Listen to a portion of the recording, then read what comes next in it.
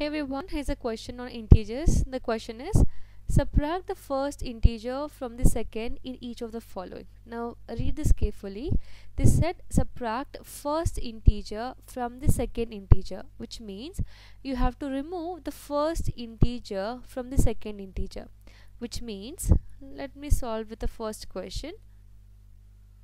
So this is the first question 12 and minus 5 so 12 is the first integer. We have to remove 12 from minus 5 so this will look like minus 5 minus 12 okay i hope it's clear.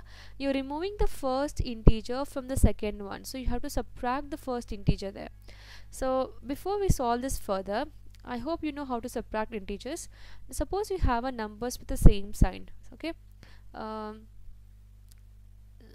okay so we have if you have a same sign you have to add them. So minus minus or plus plus you have you have to do the addition.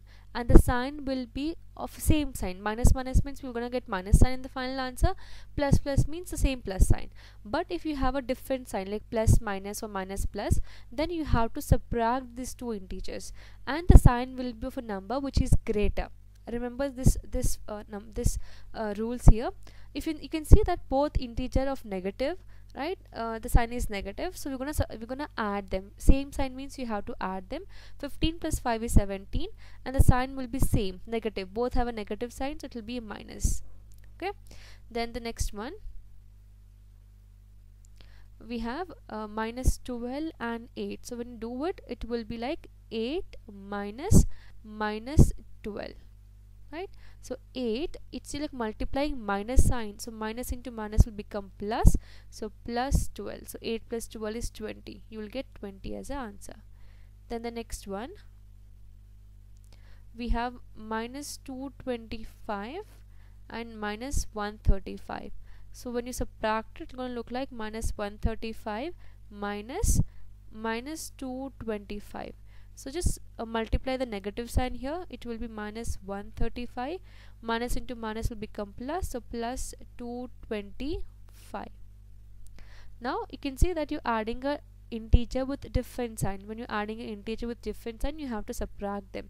So subtract 225 and 135 you will get 0 here and you will get 9 here. So your answer will be 90 but the sign will be of a number which is greater.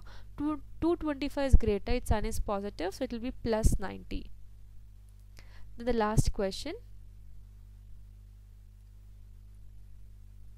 We have 1001 and 101 so it will be like 101 minus 1001 subtract these two numbers because numbers like both numbers have a different sign subtract them.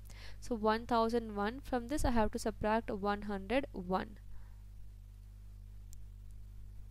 so it will be 0 0 and 9 so it will be 900 but you can see 1001 is negative like its sign is negative so you'll get minus 900 because that number is greater so that's it. I hope this question is clear. In case you have further question or doubt you can drop a comment.